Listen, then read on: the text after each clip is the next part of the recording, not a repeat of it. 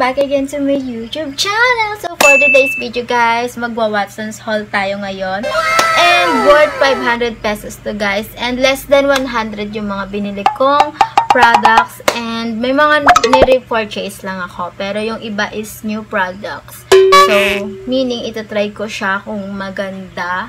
Ganon. So, Yeah, umpisa natin yung mga sachet, ganun. Kasi halos mga sachet din naman to. Ilan lang yun nasa tube types. So, if you're interested, let's get started. The first kong nabili guys is itong Myra E na Smooth Glow Whitening Facial Moisturizer, ganyan. For moist look, mga ganyan. And may with Lumina Complex siya. So, nabili ko to ng 11 pesos, guys. Ayan. 11 pesos ko siya nabili. So, super ganda, ganun. Ewan ko, gusto kong itry yung moisturizer ng Myra. Ayan. Wala lang, para mabago naman. Ganda, ganyan. Next is itong I White Korea Matcha Ice Cream Wash Off Mask. So, nire-purchase ko lang to. Bumili na ako na to before. And ang ganda sa face, ganun. Parang clay mask talaga siya. Ganyan, matcha. Ang sarap sa face. Parang pag nagbanlaw ka na, ganun. Ang sarap ng pakiramdam sa mukha. Kaya bumili ako. And, kalimutan ko yung price, pero lagay ko lang dito sa screen. So, yeah. Next is itong I White Korea pa din. BB Holic, guys. Ito talaga yung foundation ko. Liquid foundation ko talaga. Kasi, natural looking coverage siya. Ganon. Provides the benefit of both skincare and makeup. Ang ganda niya. And yung shade na ginagamit ko is beige. Ayan. Gustong gusto ko talaga to. Ito guys, dalawa na to. Ayan, 25 pesos. So, yung isang ganito, nakakadalawang gamit ako. So, di naman talaga ako nagme-makeup pag nasa bahay. And, nagme-makeup lang kapag aalis. Kahit na naka-mask. Wala lang. Para syempre, hindi masunog ang ating face. Ganyan. So, yeah. Next is itong Beauty Trends Volcanic Mod Mood. Facial Cleanser. Ganyan. Bago siya, made in ano to? Ano nakalagay kung saang made to ah. Oh my gosh. Wala-wala nakalagay. Di ko mahanap. So, gusto ko lang itry kasi may mga facial wash ako before pero maganda naman sila. So, syempre, ano, gusto ko lang mag upgrade. Charot, nag-upgrade. Pero mura lang to guys. 16 pesos. Gusto ko lang itry kung maganda. Kasi nakitan din ako sa packaging niya. Ayan. So, ang ganda neto. Next is ito, bagong-bago para sa mata ko. Ganun. Dr. Sensitive D3 and Aloe Vera Pimple Relief Serum. Skin Trouble and Blemish Care. Pagka, ano kasi nga, yung iba-iba ko dyan, yung mga tumutubo na naman pang pimples, mga ganyan. Para makahinga siguro yung mga pimples, ganyan. Ganda neto, guys. And this guys, ay 49 ata to, guys. Ilagay ko lang sa screen kasi hindi ko tanda. Ayan. Ang ganda neto. Kasi marami ako, bago ako bumili neto, nanood muna ako ng ibang haul na talagang nagsasabi na na-try na na to. And maganda daw sa face, ganun. So, gusto kong itry kung totoo bang maganda sa face. So, yeah. Next is itong Quick FX Sunscreen. Ayun, kasi hindi na ako nakakapag-sunscreen. And guys, 99 to. Meron din netong parang tube type, yung ganun. Meron din, 199 naman siya. Eh, di ba nga, yung haul natin na to is worth 500 lang and less than 100. So, ito yung kinuha ko, 99 lang siya. Para pasok sa budget, ganyan. Ang ganda kasi talaga. Tapos may SPF 50 PA+++. Di ko naman alam yung ibig sabihin, pero gusto ko rin itry kung talagang maganda siya. Sa face, on ano, pwede rin ata to, ayun, for face and body. Diba? So, tignan ko. Kasi guys, meron tong eye lip cream na pang dito sa under eye, ganyan. And effective siya sa akin kasi hindi na sobrang itim ng eye bags ko. Ganun. Kumbaga nagla-light. So, maybe magustuhan ko din tong sunscreen ng Peak FX. So, yeah. Next, guys, is itong Garnier Skin Natural Light Complete White Speed Brightening Scrub. So, nabili ko to ng 89 pesos. Ayun.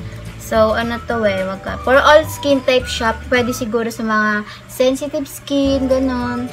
So, wala lang. Gusto ko lang mag-try na mag-scrub-scrub ng face. Kaya, 1,000 Gentle Beads daw. Pure Lemon Essence. Oh, wow. Pwede bang buksan? Uy, ang bango niya. Amoy melon talaga. Yan. to sa inyo. Kita niyo ba? Baka kami hindi. Ayan. So, yung bango niya, be. Ayan, no? Pang scrub talaga siya sa face. Kasi tignan niyo naman. Pero dito ko in-apply sa aking kamay. Ayan, wala lang. Try lang. Ayan, ganda niya. Ayan. Ako, kailangan siguro balawad to. Ewan ko kung magiging maganda to sa akin kasi ewan ko din naman ako gumagamit nito. Yung mga ginagamit ko lang yung mga exfoliation. Exfoliation ba yun? Pero ito kasi brightening scrub na talaga siya. Pang test na, pang malakasan na talaga to dahil. So, yeah, tatry ko to kung maganda. And gagawa ko ng separate video about this one, guys. So, next is Garnier pa rin. Garnier, Garnier, ewan ko. Basta kung ano man tawag dyan, sabihin nyo na lang.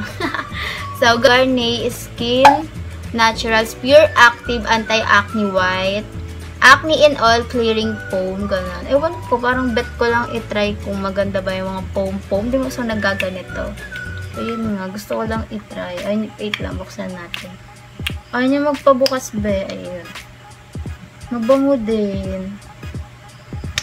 Dermatology tested. Ano? Dermatologically tested. Yan. For acne-prone skin. Wala lang, gusto ko lang talagang itry kasi pwede daw sa blackheads, acne, open pores, acne mark, clogged pores, excess oil, oh my gosh, may mga ganun ako. Uneven skin tone, ganyan, darkness, dullness, mga ganyan. So, ito try ko siya. And 89 pesos din pala to. Ayan. 89 pesos din siya, guys. So, next is itong soothing gel. Kasi, ewan ko, nakita na ko kasi 'di ba? Mga soothing gel ngayon nakapabilog na lalagyan. And naganap ako ng mura. Ayan, and may mura nga talaga. Ayan, Lux Organic Soothing Gel. So 99 pesos to. Made in Korea and bestseller daw. Gumamit na ako nito pero yung kulay orange yung nasa bilog. And now, itatry ko yung ganito kung hanggang saan siya. Tatagal sa akin kung abot ba 3 months, mga ganun. So, yeah, ang ganda rin talaga. cute. So, nga pala guys, din yung last item. And ito naman, may tatlong ewan ko, freebie. Parang ano siya, iniinom kapag may ubo or sipon. Kasi, tolak angin ba to? Ayan. Ewan ko, may pa freebie ang Watson the girl. Ayan, tatlo. Diba? Bongga. Parang, ewan ko, inabot ko lang yung membership card. Tapos may ganito ko. And ang saya-saya, diba? Pag inuubo ko, diba? Hindi na ako bibili kasi meron na akong tatlo. So, yeah. So, guys, ayun na naman yung napamili ko sa Watsons kasi nga, worth 500 lang po tayo mga te, diba? Hindi tayo ng 1,000, ganon. So, ang saya ko kasi nakakapag-Watson na naman ako. Ewan ko. Pero, syempre, tipid-tipid. Doon mga budget lang. And ito talagang nag-isipan ko nang mabuti yung mga kinukuha ko, ganun. Kasi na baka lumagpas sa budget, ano pong mangyari, di ba? Eh, di, di na worth 500 yon So, ayan, excited na akong itry to. And, magkakaroon sila ng mga separate video kasi bibigyan ko ng reviews, ganun, kung maganda ba, worth it bang bilhin nyo, ganun. So, yeah. That's all for today, guys. Hope you enjoyed this video. Don't forget to like and subscribe to my YouTube channel. Bye!